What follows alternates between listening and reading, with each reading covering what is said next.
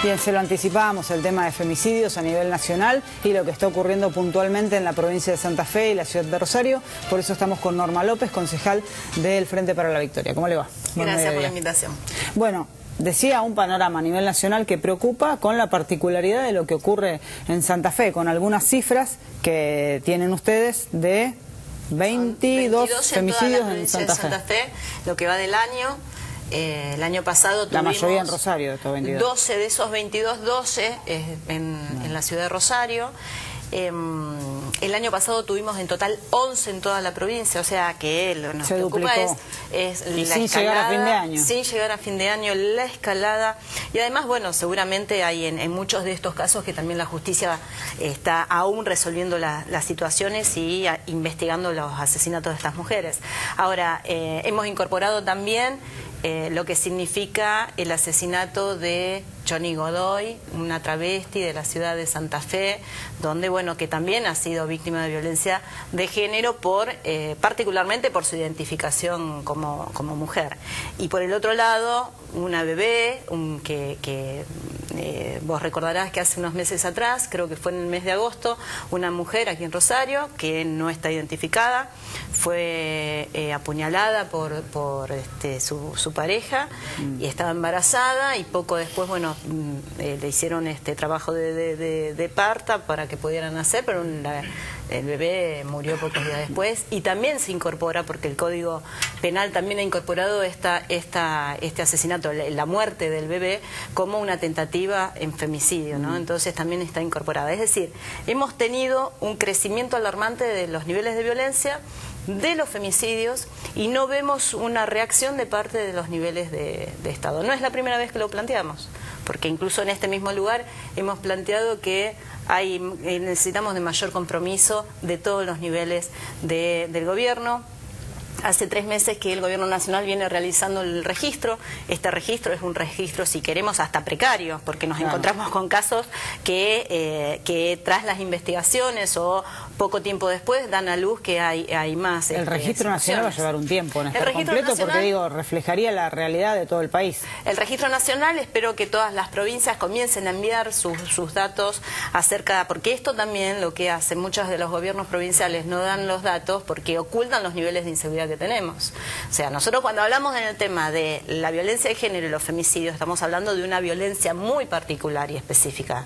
Pero también estamos hablando sobre el 50%, 50 de eh, la población. O sea, si la, mirada fuera de mayor involucramiento en todo lo que es eh, seguridad y sobre todo en este caso, que somos el 50% de la población, eh, mujeres, niños, niñas y adolescentes, me parece que el gobierno provincial, por ejemplo, podría digamos, llegar a tener algunas otras acciones. Florencia, en lo que va del año hemos tenido reuniones con distintos estamentos, con seguridad comunitaria, con la policía comunitaria, mm. con la justicia, con este, bueno, hemos hecho también acciones con el gobierno provincial y con, eh, no solamente como Frente para la Victoria, sino con el resto de la multisectorial de mujeres, tanto de Rosario como de Santa Fe, y se van logrando algunas cosas, pero luego los gobiernos no las sostienen. Entonces... Eh, en las últimas oportunidades, cuando se hablaba de femicidios, violencia de género y demás, se planteaban que no llegaban la cantidad de botones de pánico que se necesitaban y que muchos de esos botones de pánico que están en funcionamiento a veces fallaban o estaban uno o dos días sin poder transmitir. ¿Cuál es hoy la situación? Lo que nos han comunicado desde eh, Seguridad Comunitaria, eh, eso, digamos, la distribución de los botones de pánico lo tiene el área de desarrollo social de la mm. provincia de Santa Fe y también, digamos, conjugan otras áreas, ¿no? Por ejemplo, cuando lo pide la justicia.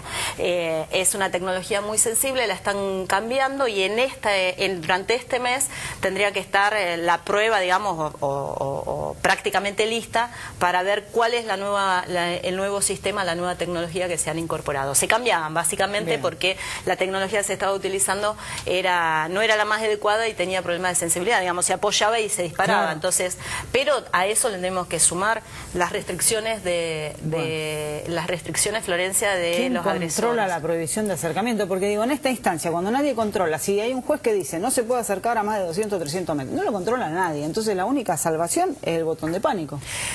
Sí, pero vos fíjate que hay otra cosa.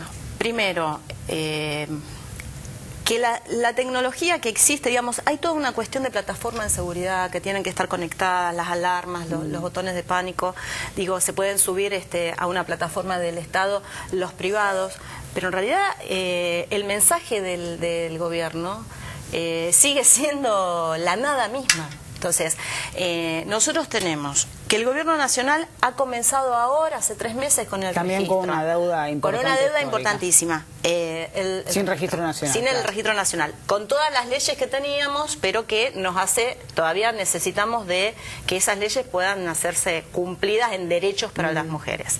El gobierno provincial digo, no ha avanzado en lo que significa la relación con la justicia, la relación con la policía, digo, el tema de seguridad, mujeres o varones, eh, es eh, fatal. No han, han, encontrado el punto, ahora han convocado de nuevamente las fuerzas eh, federales.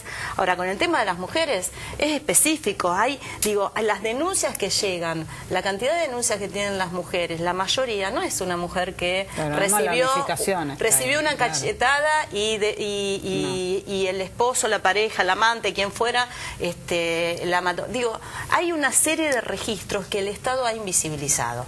Y vos fíjate que todas estas cuestiones de invisibilización también tienen que ver y en esto tenemos que repudiar lo que sucedió en Mar del Plata, en el Congreso, mm, en el, eh, el número 30 de los Encuentros Nacionales de Mujeres, donde realmente había una organización, eh, una protesta social organizada por parte de las mujeres. Lo que se ha hecho desde la, de las fuerzas de seguridad de, eh, de Mar del Plata, la represión, más este grupo neonazi, digamos, de, de provocación a las mujeres, no es ni más ni menos que también un intento de criminalizar la protesta social.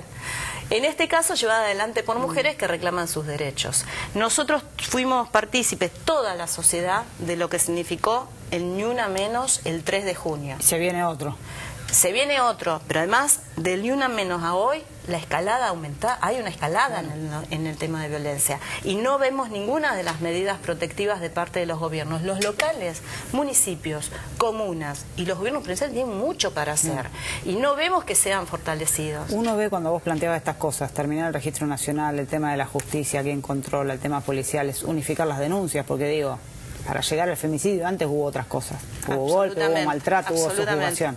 Digo, hasta que no esté listo todo esto, es muy difícil pensar en una política de prevención. Falta mucho por recorrer.